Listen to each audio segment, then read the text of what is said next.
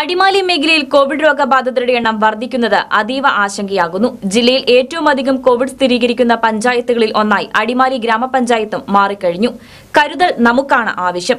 സ്വയം മുൻകരുതലുകൾ എടുക്കുക. രോഗിയാവാതിരിക്കാൻ സ്വയം ശ്രദ്ധിക്കുക.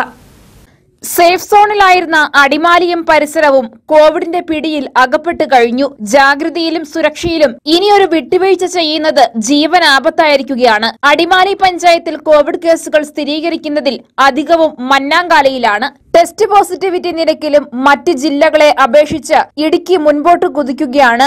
ജില്ലയിലെ ആരോഗ്യ പ്രവർത്തകർ കിണഞ്ഞു പരിശ്രമിച്ചിട്ടും കോവിഡ് കേസുകളുടെ ഗ്രാഫ് മുകളിലേക്ക് തന്നെ ഉയരുകയാണ്. ഒക്ടോബർ പതിനഞ്ച് മുതൽ നവംബർ പതിനെട്ട് വരെയുള്ള ജില്ലയിലെ കോവിഡ് ബാധിതർ നാലായിരത്തി മുന്നൂറ്റി നാൽപ്പത്തിയെട്ടാണ് പ്രതിദിന രോഗികളുടെ എണ്ണം ഉയരുകയും സമ്പർക്ക രോഗബാധിതർ കൂടുകയും ചെയ്യുന്ന അതിസങ്കീർണമായ അവസ്ഥയാണ് ജില്ലയിൽ ഇപ്പോൾ നിലനിൽക്കുന്നത്. Channel today Adimali